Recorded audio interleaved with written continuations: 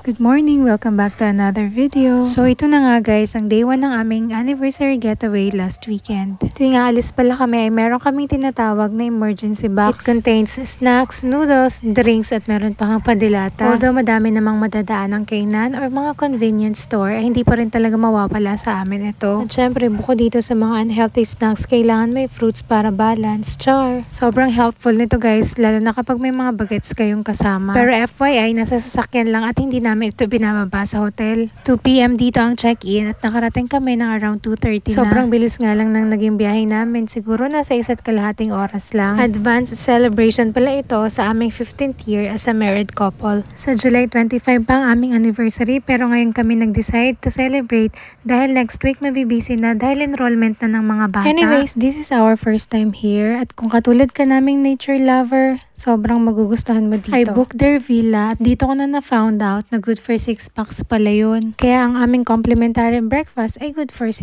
packs din. So yun, when we got the key, kailangan muna mag-park ng daddy dahil medyo malayo pala ang parking dun sa villa. Hindi makakarating dun ang sasakyan kaya we decided to check muna the room first bago maghakot ng mga gamit. Luckily, pinagbigyan kami ng panahon ngayon dahil hindi umulan at makulimlim lang. Mahaba-haba pa naman ang lalakarin pala papunta ng villa, medyo madulas. At puro hagdan, wala rin palang ramp para sa mga luggage or kapag may stroller kayo, hindi pwede. Anyways, after 48 years ay nandito na tayo sa Villa 5. At syempre, hindi pwedeng wala ang ating room tour. Na-amaze ako dahil very spacious itong villa nila. With 3 king bed size tapos may extra bed pa on the side. At ito naman ang kanilang very spacious din na bathroom. Maganda dahil magka-separate ang shower at ang toilet. Nasa left side ang shower at nasa right side naman ang toilet with the cabinets. At syempre, it includes the toiletries, may pa-sleepers, laundry bag at meron pang hygiene kit. Very spacious, diba? At ang linis and fairness. Tara, let me tour with you naman outside. Meron lang silang few animals dito na alaga tulad nitong eagle.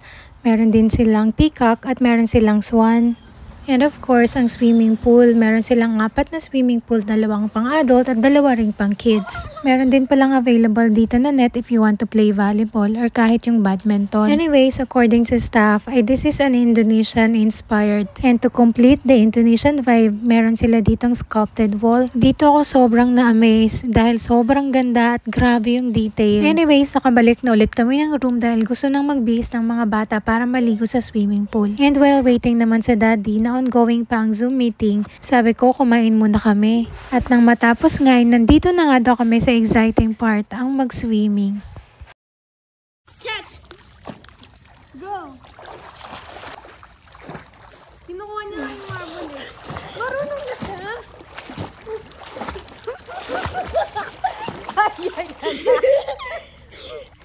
Pati nga kami ay nainganyo na rin maligo dahil walang naliligong ibang tao. Kaso lang ayaw makisama sa akin ng ulan dahil bigla na lang lumakas.